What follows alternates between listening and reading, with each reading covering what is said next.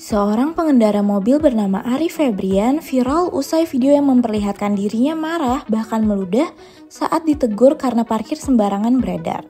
Kejadian ini bermula saat Ari memarkirkan mobil Honda HR-V-nya di tengah jalan untuk membeli gorengan. Perbuatannya ini lantas membuat arus lalu lintas macet karena terharang oleh mobilnya. Karena geram, pengendara mobil di belakang mobilnya lalu menegur dan merekam tindakan tidak etis itu. Bukannya minta maaf, Ari justru malah memaki dan meludahi pemobil tersebut.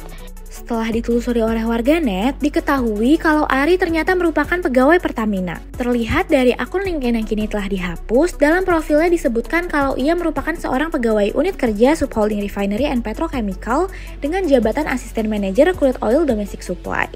Bahkan, netizen juga mengetahui bahwa Ari mempunyai kekayaan bersih senilai 2,2 miliar rupiah yang tercatat pada laporan harta kekayaan penyelenggara negara tahun 2022.